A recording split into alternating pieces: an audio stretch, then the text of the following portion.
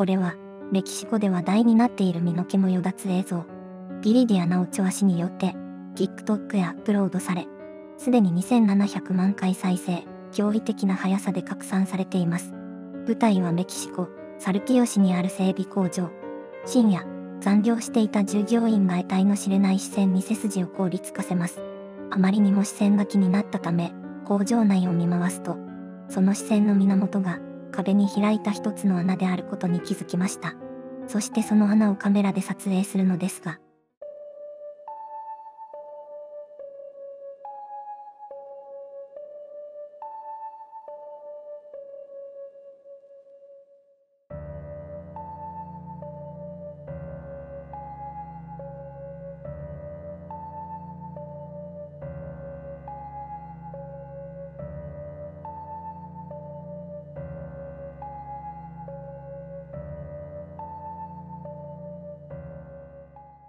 お分かりいただけただろうか。工場内に開いていた穴の中から、暗闇に浮かぶ異形の目が、こちらを覗き込んでいるのです。従業員たちは壁を叩いて反応を伺いますが、穴の向こうは無言のまま、表情すら読み取れません。撮影者が壁の裏、建物の外壁を確認するために外に出て回り込んだが、隣の建物と密接し、人が入り込めるスペースはなかったとのこと。そして不思議に思うまま建物の中へ戻ると、すでに目は消えていたようだ。コメント欄では、猫やフクロウでは、という声が多かったものの、専門家によると、ライトで照らしても動向が収縮せず、輝きも観察されないため、動物の可能性は低いと結論付けられています。人間がいたずらしているのでは、という説ももちろんあるが、撮影者の話が本当なら、誰も入れない場所である。日本でも、人が自力で入ることは不可能とされる。銀層内で開始事件が発生した例もあります。事実は小説よりもきなり、という言葉もあるように、我々の想像を絶する出来事が起きていたのかもしれません。この映像、あなたはどう思いましたか？皆様こんばんは、モノコチャンネルです。今回も皆様と一緒に恐ろしい映像を見ていきますので、心してご覧ください。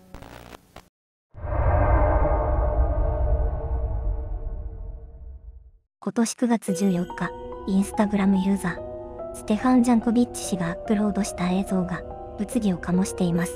撮影者は山へ探検に出かけた際、一つの洞窟を発見。奥深くまで続いている様子に冒険心をくすぐられ、洞窟の奥深くへと足を踏み入れていきます。しばらく探検を楽しんだ後、洞窟を出ようとしたその時、事件は起こります。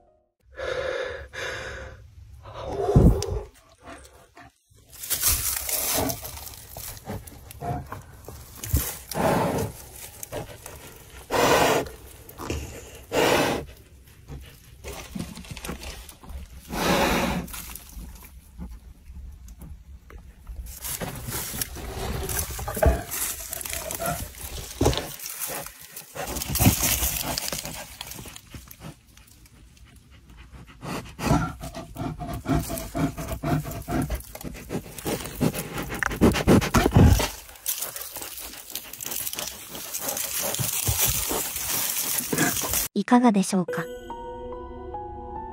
そこには想像を絶する恐ろしい瞬間が記録されていました。なんとそこは熊の巣穴だったのです。運悪く洞窟から出ようとしたタイミングで熊が帰ってきてしまったのでした。幸いにもその場で熊に襲われることはなく、九死に一生を得ることができました。無傷で生還できたことはまさに奇跡。この映像は自然の中での探検には常に危険が潜んでいることを改めて私たちに教えてくれます。ハイキングの途中で謎の洞窟を発見しても、絶対に立ち入らないようにしましょう。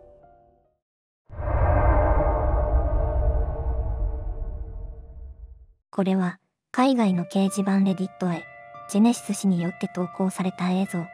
子供の誘拐事件は、被害者の心に癒えることのない深い傷を残す卑劣な犯罪。そんな最悪の瞬間を捉えた映像です。夕暮れ時、一人の少女が学校から家路を急いでいました。すると、背後から一台の車がゆっくりと近づいてきます。車は少女のすぐそばで停車し、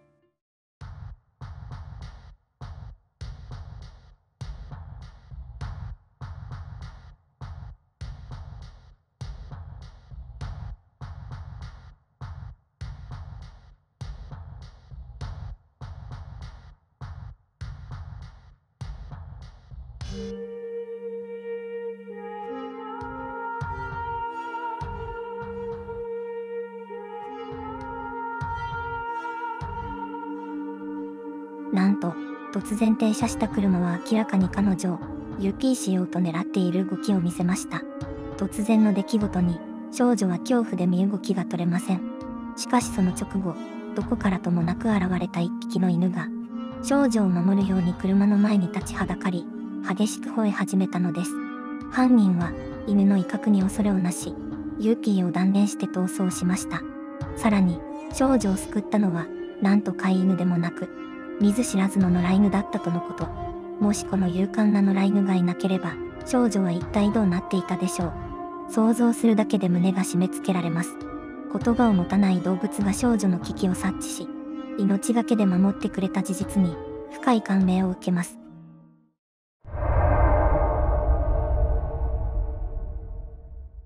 最近、とある TikToker によって投稿された動画が、ここ数週間インターネット上で大きな話題になっています。拡散中のこの動画は、深夜の散歩中に偶然遭遇した出来事を捉えたもののようです。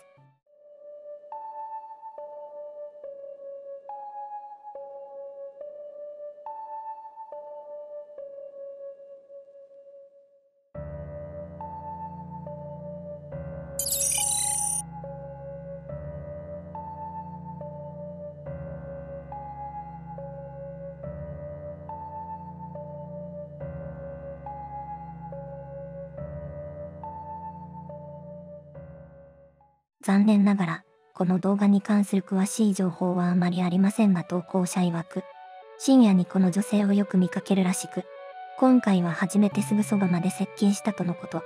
コメント欄でもこの女性の目撃情報は絶えず報告されており、現実に間違いなく存在するのである。一体この女性は何が目的で何のために、毎日この場所で佇んでいるのでしょうか。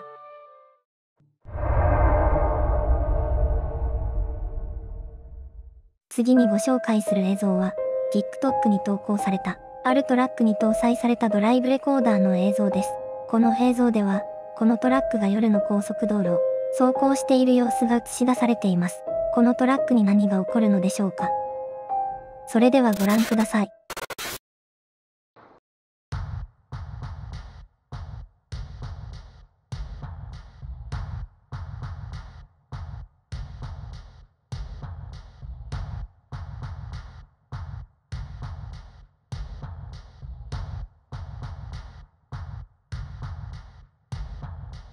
you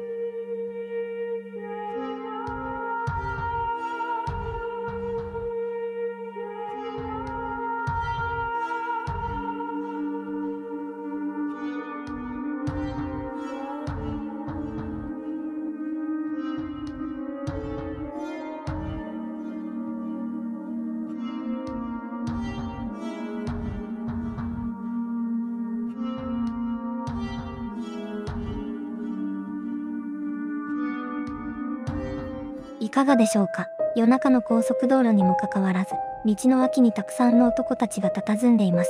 彼らにはある目的があり、このトラックがそのターゲットになっていたのです。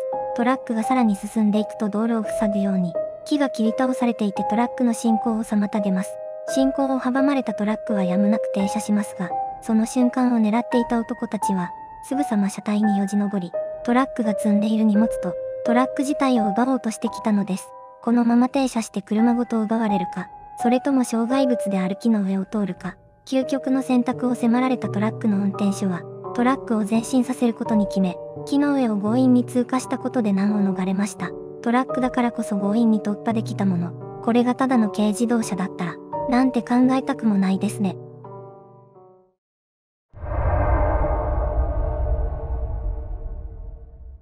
これは、アントン・ラッカス氏によって、TikTok へ投稿された映像。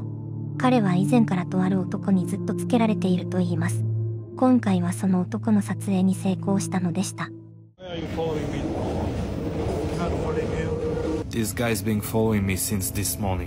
投稿者が電車内で男に立ち向かった後でも、不審な男は尾行を続けてきたようです。撮影者が電車を降りた後、不審な男を巻くことができ、彼はアパートに戻ることができました。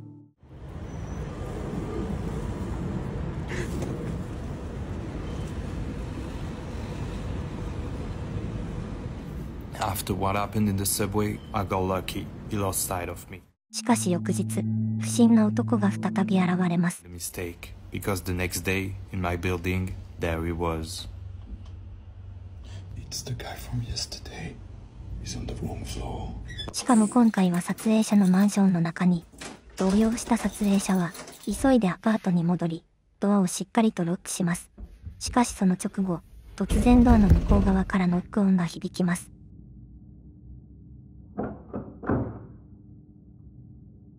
Open the door. Please. Open the door.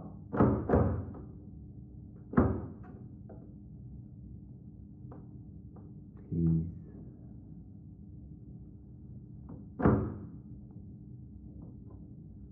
この状況にパニックになった撮影者は、すぐさま警察へ通報。不審な男はそのまま署に連行されたのでした。数日後、撮影者は当局から電話を受けます。 Yes, hello, Mr. Raga. Yeah, hello? So we proceed to arrest the individual who followed you to your home, but he has no criminal record and he has committed no offense. So I wanted to inform you that he has been released. Uh, wait, but if he comes back, what should I do? Well, you'll have to call us back, sir. Have a good day. Goodbye. なんと、男には犯罪歴がなく、実際に犯罪を犯していないため、釈放されたことを知らされるのでした。突然の連絡から彼はなすすべもなく、ただただ不審な男の釈放を受け入れるしかなかったのです。この映像が投稿されてしばらく経ちますが、現在彼のチャンネルの動画が更新されることはありません。今もどこかで平和に暮らせていることを願うばかりです。今回は以上です。いかがでしたでしょうか？このチャンネルでは、皆様が気になるような様々な話題をまとめて配信していますので、高評価、チャンネル登録をお願いいたします。それでは、ご視聴ありがとうございました。